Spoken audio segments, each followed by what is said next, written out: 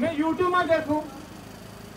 एक सरदार क्या मैं मोदी जी को एक सवाल करना चाहता था, अगर नाराज़ ना हो।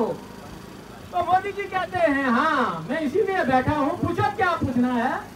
वो क्या वो क्या के कि मैं मोदी जी से एक सवाल करना चाहता हूँ।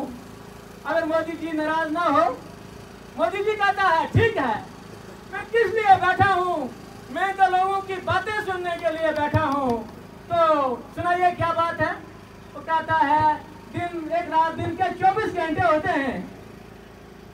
तो आप 20 घंटे काम करते हैं चार घंटे आराम करते हैं आप इनमें इतनी खुराक क्या खाते हैं?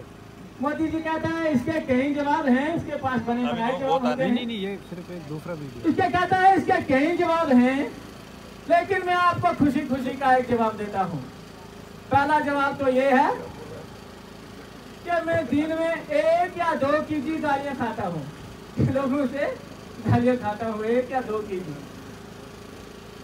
दूसरा जवाब टेक्निकली